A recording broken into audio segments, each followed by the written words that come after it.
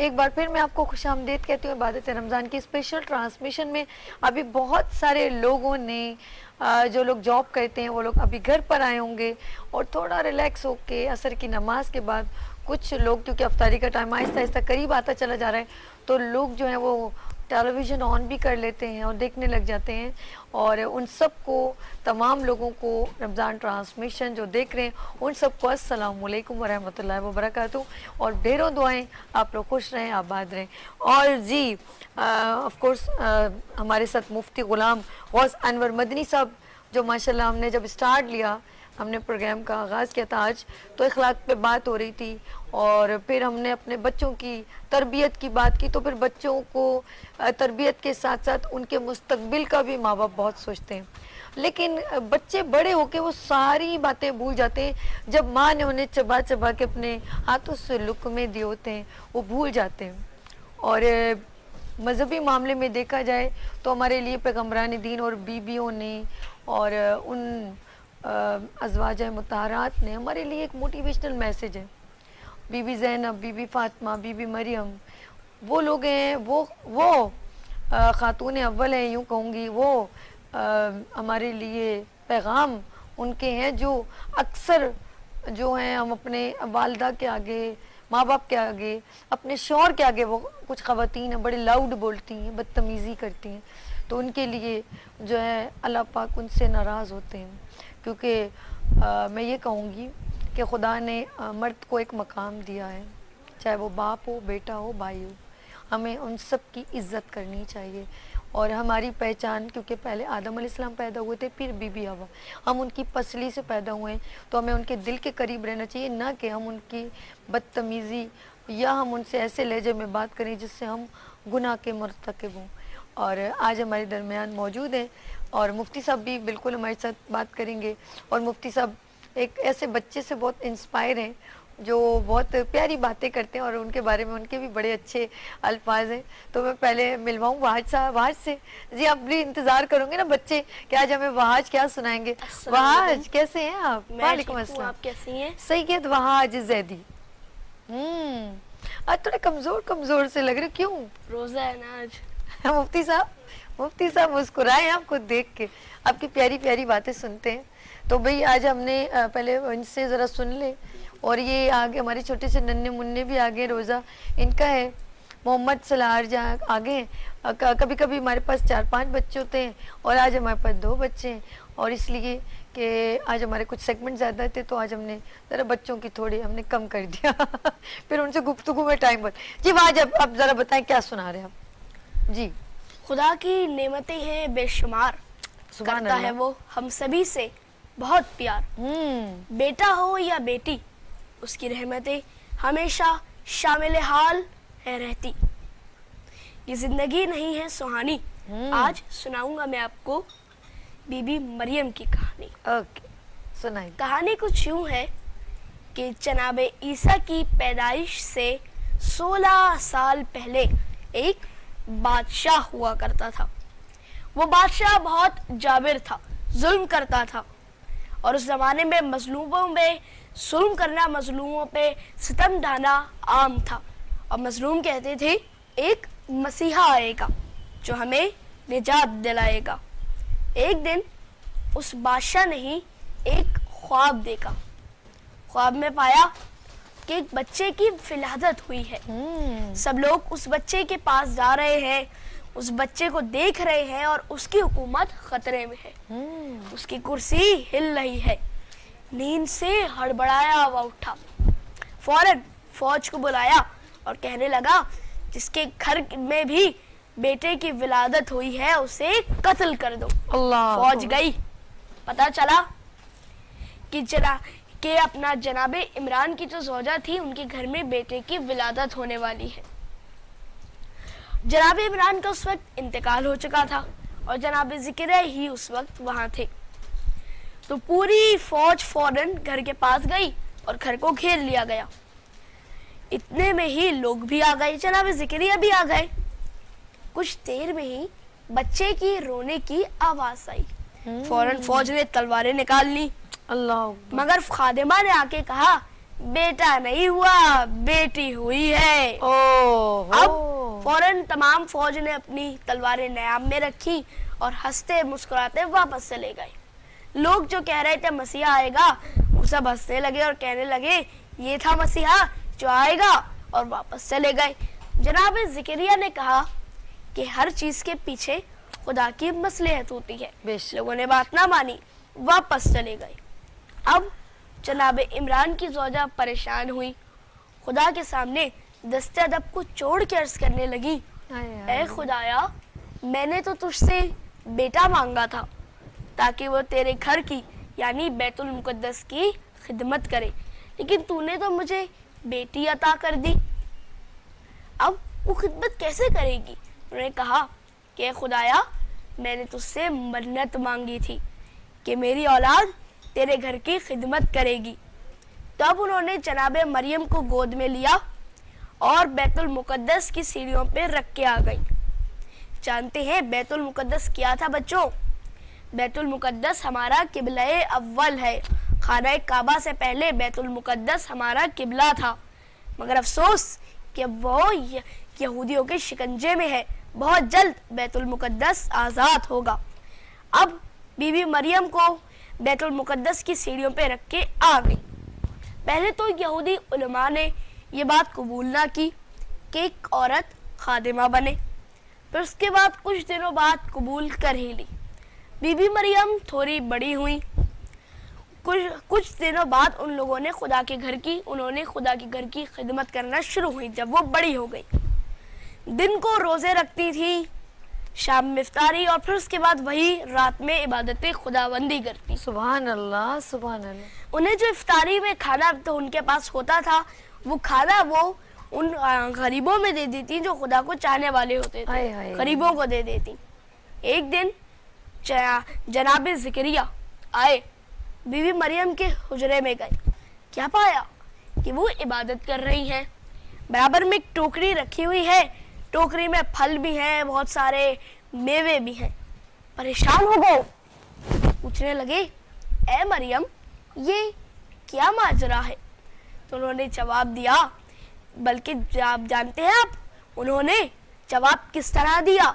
उन्होंने मुँह से बात नहीं की उन्होंने जबान नहीं बोली जबान से नहीं बोली बल्कि उन्होंने आसमान की जानिब इशारा किया। अल्लाह। गोया ये कहना चाहती थी कैसा कैसे हो सकता है? कि मैं खुदा के बंदों को खाना खिलाऊं और वो मुझे भूखा रहने दे। तो इससे हमने क्या सीखा? कि जो भी खुदा के बंदों को गरीबों को खाना देता है उनकी मदद करता है तो खुदा उन्हें खुदा उन्हें ऐसे ही नहीं छोड़ देता। खुदा उन्हें उनका सिला देता है। सुभान अल्लाह सुभान अल्लाह कितने खूबसूरत अंदाज में एक छोटा सा मैसेज दिए कि आप जितना रिस्क बांटते हैं अल्लाह पाक उतना ही ज़्यादा देता है। इसकी वजह ये कि आप अल्लाह से तिजारत कर लेते हैं। और जब अल्लाह से तिजारत करते हैं तो फिर आपको कैसे घाटे में अल्लाह डालेगा? ऐसा कभी हो ही नहीं सकता। मुफ्ती साहब, आप क्या कहना चाहेंगे? जी हाँ बिल्कुल मैं ये कहूँगा कि जिस तरह अभी इन्होंने वाक़ बयान किया है हज़रत अबी मरियम रदी अल्लाह अन्हा का, ये वाकई बहुत, एक कुरान मजीद फ़ुरक़ान हमीद का अच्छा और बेहतरीन वाक़ है। अगर इसमें से सीखा जाए तो बहुत कुछ सीखने के निकात इसमें मौजूद हैं।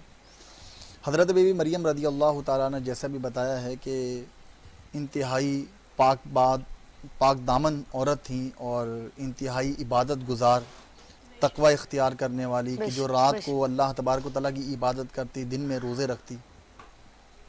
तो हमारी आज हमारी माँ बहनों को भी ये चाहिए कि वो इन हस्तियों की हिस्ट्रियों को पढ़ें। इनकी ज़िंदगी को जब हम पढ़ेंगे तो हमारी माँ बहनों के अंदर भी एक तकवा और एक खौफ खुदाबंदी आएगा कि किस तरह इन हस्तियों ने अल्लाह तबारक व का कुर्ब हासिल किया। हज़रत बीवी फ़ातिमत ज़हरा रदी अल्लाह ताला अन्हा के बारे में किताबों में आता है कि हज़रत बीवी फ़ातिमा रदी अल्लाह ताला ना दिन भर के जो काम काज हैं उनसे फ़रागत हासिल करके रात को अल्लाह की इबादत करती और पूरी पूरी रात एक सजदे में रात को गुजार देती।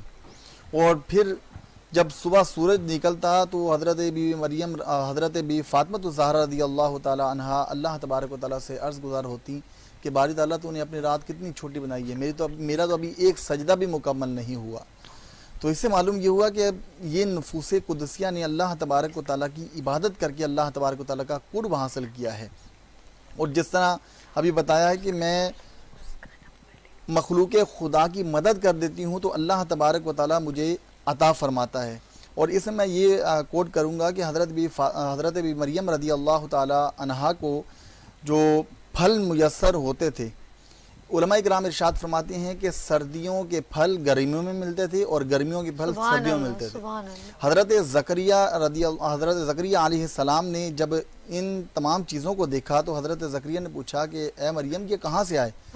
तो रब का कुरान कहता है कालत हुआ मैंने इन दिल्ला हज़रत मरियम ने कहा कि ये अल्लाह की तरफ़ से हैं। तो हज़रत ज़करिया जो कि बे औलाद थे आपके यहाँ औलाद नहीं थी और आपकी उम्र काफ़ी हो चुकी थी। आपकी जोजा जो हैं वो एक बाँश थी और आपने उस वक्त दुआ की कि बारी ताला जब तू सर्दियों के फल गर्मियों में और गर्मियों के फल सर्दियों में देने पर कादिर है तो मौला मुझे इस उम्र में और मेरी जोजा की इस हालत में मुझे औलाद नरीना भी अता फरमा सकता है। तो अल्लाह तबारक व ताली ने फ़ौर ही हज़रत ज़करिया सलाम की दुआ को कबूल किया और हज़रत जब्राइल के ज़रिए आपको खुशखबरी दी हज़रत याहिया सलाम की। तो अल्लाह तबारक व ताली ने आपको औलाद अता फ़रमाई। इससे हमें ये भी मालूम हुआ, हमारी वो हजरात जितने भी हैं कि जिनके यहाँ औलाद नहीं है और वो शिकवा और शिकवाय शिकायत कर देती हैं अल्लाह की बारगाह में कि या अल्लाह मेरे पास औलाद नहीं है मैं मैंने तेरा क्या बिगाड़ा था? शिकवा और शिकायत शिकायत करती तो हैं। तो उन्हें ये सोचना चाहिए कि जब अल्लाह तबारक वाली हज़रत ज़करिया सलाम को सौ साल के बाद हज़रत याहिया अता फरमा देती हैं तो वो रब कायनात हर चीज़ पर कादिर है। अगर वो चाहे तो आ, आपको दस साल बाद औलाद अता फरमाए पंद्रह साल बाद औलाद अता फरमाए चाहे तो ना अता फरमाए। ये अल्लाह तबारक वाली की मसलियत है और यही अल्लाह तबारक वाली का अदलो इंसाफ है। सुबह अल्लाह सुबह अल्लाह बुरहान हमारे साथ मौजूद है नात ख्वाह हैं उनकी नात सुनेंगे लेकिन इससे पहले ये छोटे से शहजादे से तो बात करवाएँ। माइक दीजिएगा बुरानी ने अस्सलाम वालेकुम कैसे हैं आप? ठीक हूँ। अच्छा रोजा कहाँ रखा? अलमारी में या फ्रिज में? कहाँ रखा है? फ्रिज। ये देखा ना ये चाहिए ना? हो गया ना? ये उस दिन भी बच्चे ने कहा था फ्रिज में फ्रिज में इतनी सारी चीज़ें होती जब चाह खोला और खा लिया। खोला ये देखो ये गलत बात। तो अलमारी में रखना था ना अभी किसी ने खोल के खा लिया और फिर इतनी मुश्किल से आपने रखा था। चलो कोई बात नहीं नहीं नहीं कोई मसला नहीं अभी रोजा खुलेगा। अच्छा क्या क्या खाया आपने शहरी में? मैंने अंडा पराठा। हुई हुई भूख लगी थोड़ी थोड़ी सी? नहीं? अम्मी ने सुला दिया होगा छो जाओ छो जाओ। अच्छा ना? चले अल्लाह पाक हम सबके बच्चों को तोफीक दे कि वो रोज़ा रखें। और ये बचपन में हमें तंग किया जाता था और हम रोते थे और जाके कभी कभी तो फ्रिज के आगे खड़े हो जाते थे कि हमारा रोज़ा कोई तोड़ना दे। ये मासूम से खिलौने हैं माँ बाप के लिए और कितने प्यार से ये दिल से लगा के आपको पालते हैं। तो इनके आगे उफ ना क्या करें ना गुनागार हुआ करें और इससे रब भी बहुत नाराज़ होता है। बुरा ना रोजा तोड़ ही देते। इसका अल्लाह नहीं नहीं ऐसे नहीं। नहीं नहीं नहीं। यार ये गलत बात। आप कैसे दोस्त हो यार? ऐसे नहीं करो। ये तो बात ऐसी बात नहीं है। मज़ाक है ना? चलो फिर ठीक मज़ाक है ना फिर ठीक ये तंग करते ये वाज ना सब बच्चों को तंग करता है। बुरा मुझे नात रसूल मकबूल सुनाइए। और जी नाजी हमारे साथ बच्चे भी मौजूद हैं दोनों वहाज भी और ये प्यारा से शहजादा भी। जी। जब मेरी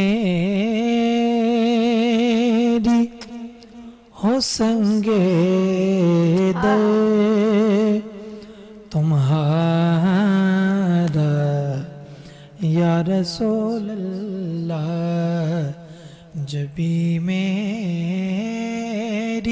हो संगे दर, तुम्हारा या रसूल अल्लाह यही है एक जीने का सहारा। रसूल यही है एक जीने का सहारा या रसूल और तुम्ही हो बेसहारों का सहारा या रसूल अल्लाह तुम ही हो बे सगारों का सगारा। या रसूल अल्लाह तुम ही को हर दुखी दिल ने पुकारा या रसूल अल्लाह तुम ही को हर दुखी दिल ने पुकारा या रसूल अल्लाह और बरोजे हशर इस यकी की लाज रख लेना। बरोजे हशर मेरे इस यकी की लाज रख लेना। तुम्हारा बस तुम्हारा हूँ, तुम्हारा या रसूल अल्लाह मैं तुम्हारा हूँ तुम्हारा हूँ, तुम्हारा या रसूल अल्लाह और खुदा से माँगता हूँ। मैं तुम्हारा नाम ले लेकर खुदा से माँगता हूँ। मैं तुम्हारा नाम ले लेकर खुदा